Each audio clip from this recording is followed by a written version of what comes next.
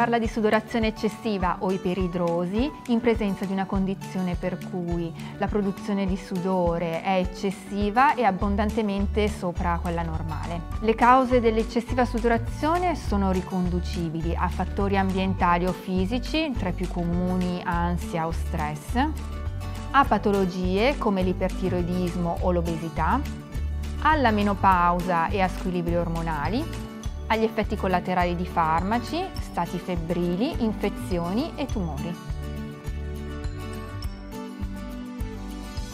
Abbassare la temperatura, quindi uscire, indossare dei capi larghi, ampi e in fibre naturali leggere come il lino e il cotone.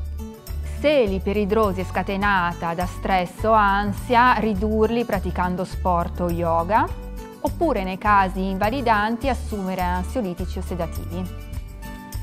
Può essere utile anche la ionoforesi, eh, che è una tecnica che blocca la sudorazione andando ad agire sulle ghiandole sudoripare e otturandole oppure alla tossina botulinica che invece agisce sulla sudorazione agendo sui muscoli delle ghiandole sudoripare o infine alla chirurgia che agisce eliminando direttamente alcune ghiandole.